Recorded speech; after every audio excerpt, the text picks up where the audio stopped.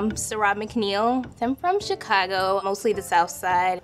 I'm studying integrated biomedical sciences. I'm in the PhD program with a concentration on translational cancer research. I'm a first year student.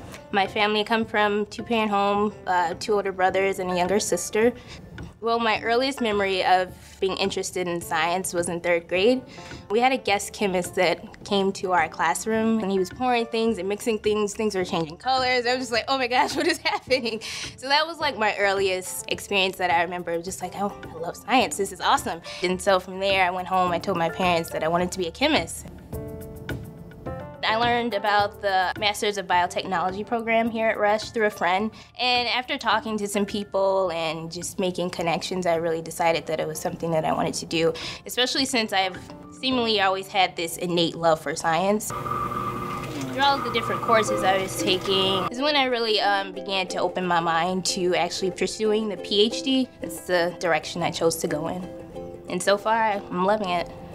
All right, so we'll go ahead and get started with point number two with Ricardo. It's a very small group of students. We all come from different backgrounds, different educational backgrounds, and so we can all work together and help each other out.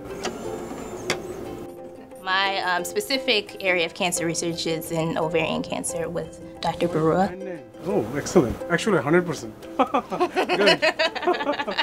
Good. well, let's go to now protein. There's a mix of uh, cancer research, immunology, some molecular things. As it stands right now, I like to stay in that field. So once you see here, what we do next, we transfer the image to the microscope. Now you can see this is a low magnification. Do you see?